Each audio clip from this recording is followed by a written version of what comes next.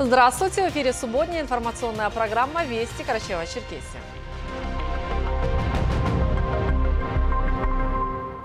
На базе Кочего имени Умара Алиева прошла донорская акция, проводимая студенческим волонтерским клубом «Добро Кочего» и Центром крови Северокавказского федерального научно-клинического центра Федерального медико-биологического агентства России города Лермонтова. В этом благородном деле приняли участие студенты вуза и жители Карачаевска. Подробнее об акции Александр Лепшоков.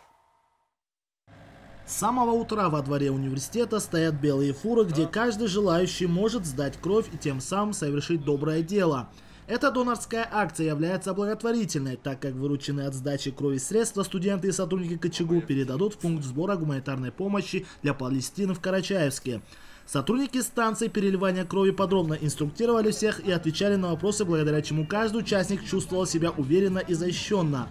Исполняющий обязанности ректора КЧГУ Тал-Султан Узденов подчеркнул важность участия в этой благородной инициативе. Это у нас не первая акция, мы проводим э, ежегодно такие акции, но значимость этой акции в том, что все вырученные средства по призыву главы Карачаево-Черкесской республики Рашида Бальзбеевича Темрезова будут сданы э, в Центр помощи жертвам Палестины. Э, и я надеюсь, что та осознанность, с которой подходят к этому делу наши студенты, преподаватели, это поможет развить в наших, особенно у нашей молодежи, чувство сопричастности, сочувствия. Участие в этой акции является гражданским долгом для каждого жителя Карачаевска и отрадно видеть, как многие люди приходят на станцию переливания крови, отмечает представитель администрации мэрии Карачаевска. Карачаевский э, начал и продолжает свою работу по поручению главы Карачаева-Черкесии Рашида Борисовича Темрезова Центр помощи жителям Палестины. На сегодняшний день э, мы уже собрали и денежные средства, собрали определенное количество, и продукты. Э, сейчас мы находимся на территории Карачаево-Черкесского государственного университета имени Алиева, где проходит акция по сдаче донорской крови. И все деньги, собранные на этой акции, также будут направлены э, в наш центр для помощи жителям Палестины. Мы с радостью принимаем участие в этой донорской акции, так как мы верим, что наше участие позволит внести свой вклад в развитие культуры донорства и в помощи нуждающимся, уверяют студенты. Важность в том, что помогать окружающим, еще э, новый опыт, новые знакомства и ну, выглядит как путь, начало чего-то нового, начало чего-то хорошего и светлого. По завершению сдачи крови участники могли отдохнуть и насладиться сладостями и ароматным чаем из этого огромного самовара. Алихан Лепшоков, Аслан Гирюгов, Вести Карачаева-Черкесия, Карачаевск. Любовь к профессии длиной в жизнь. Рима Адакумова отметила день рождения. Она больше 60 лет своей жизни посвятила работе в школе. Она искренне предана своей профессии. Подробнее Альбина Ламкова.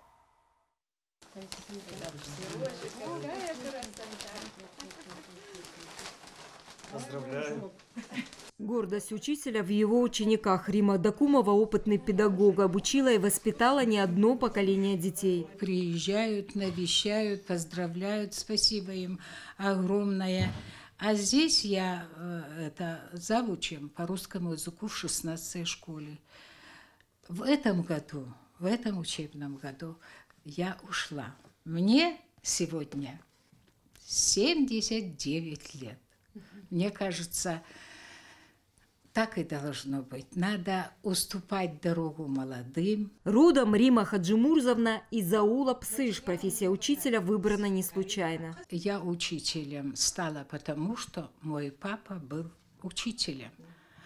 А в жизни он работал большую часть педагогической работы директором школы, где трудно было, его туда посылали Шанов Каджимурза Шугаевович.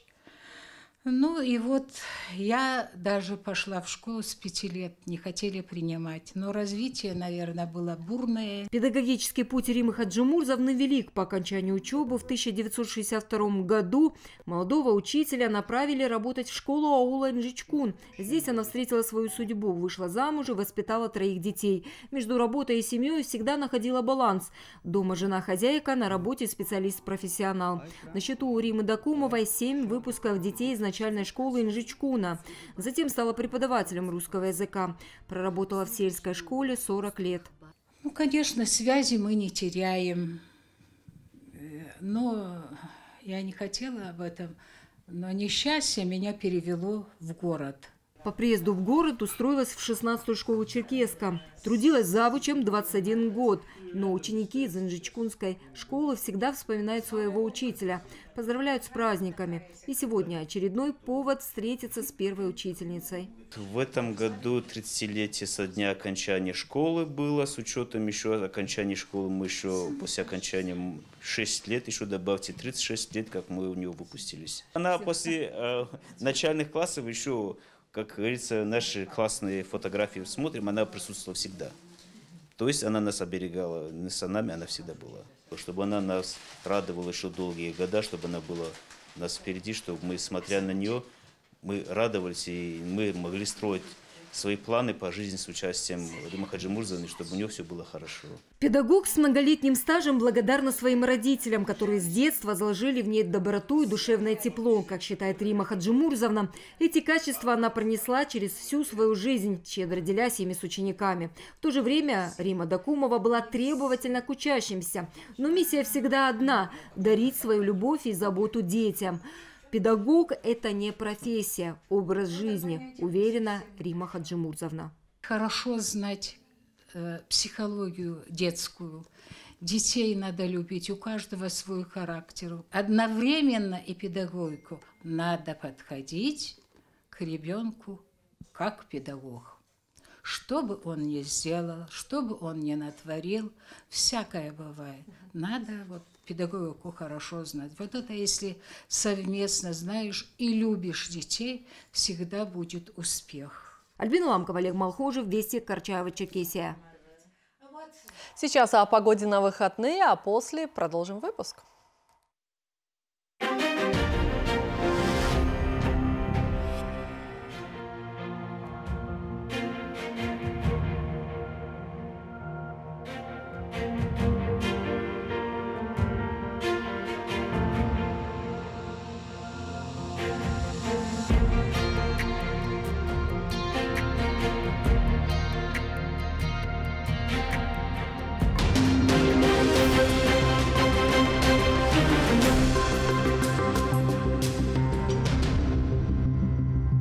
В Общественной палате Карачева-Черкесии прошло торжественное мероприятие, посвященное итогам прошедших на территории республики до выборов депутатов в Государственную Думу.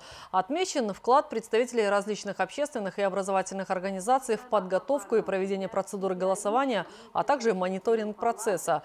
Как ранее неоднократно высказывались эксперты, выборы в Карачево-Черкесии прошли без каких-либо нареканий, в чем немалая заслуга и этих людей. Также в Общественной палате республики оценили работу участников участников акции «Все для победы».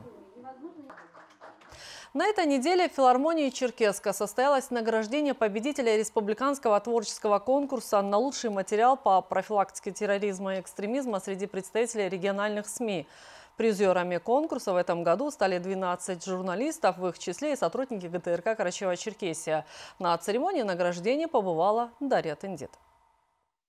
В торжественной обстановке для подведения итогов конкурса среди журналистов собрались представители телевизионных и печатных СМИ республики. С приветственным и поздравительным словом к собравшимся обратился министр по делам национальностей, массовым коммуникациям и печати Мурат Есенеев. Он отметил, что журналистам сейчас в эпоху распространения фейковой информации важно оставаться объективными и справедливыми. Я хочу прежде всего поблагодарить вас за вашу работу, которую вы делаете все вместе особенно наших, будем говорить, призеров. Мы вас любим, уважаем, ценим. Еще раз поздравляю вас, творческих успехов. Ну, со своей стороны обещаем, что в следующем году мы постараемся, чтобы сумма премии была еще больше и количество претендентов тоже было больше.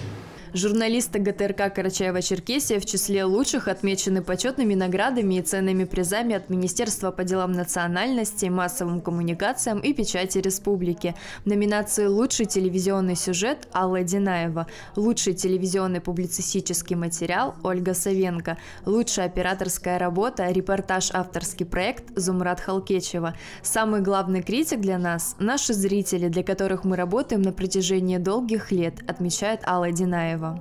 Спасибо Министерству по делам национальности, массовым коммуникациям и печати за то, что проводят такие мероприятия. Ведь каждая награда – это стимул для дальнейшей работы.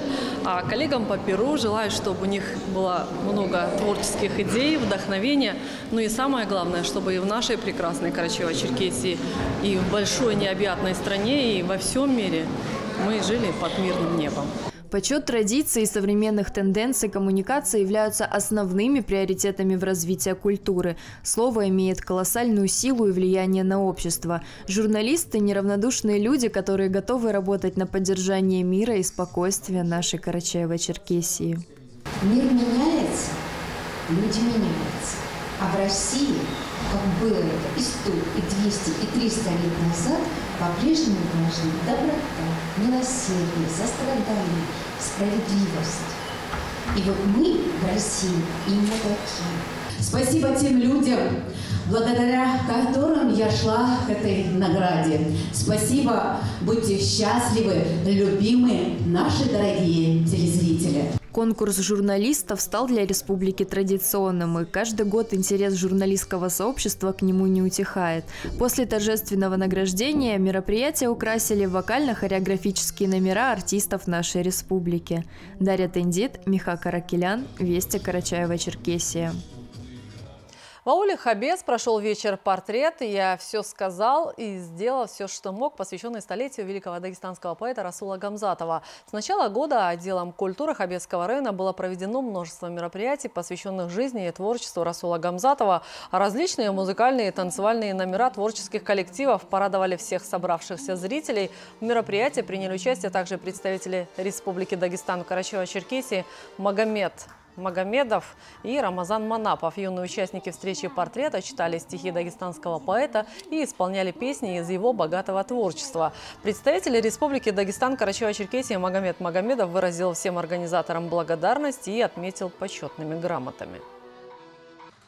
Мне еще хотелось бы здесь, пользуясь случаем, выразить слова благодарности э, всем э, от, от э, городским и республиканским библиотекам, всем э, учебным заведениям, которые провели мероприятия по юбилею э, столетия Расула Камзатова Карачаево-Черкесской республики. Хотелось бы отметить еще, что э, из муниципальных районов и городских округов. Э, к сожалению, э, это, это вот, э, так, такие мероприятия провели именно в Хабейском районе, уже, уже второй раз здесь, как было сказано, и, на, и, и открытие, и вот сейчас закрытие года, года Расула Камзатова, и э, в Малокарачаевском муниципальном районе э, тоже самое, то, тоже было, было так, такое же значимое мероприятие. На этом субботний выпуск вестей подошел к концу. Приятных выходных!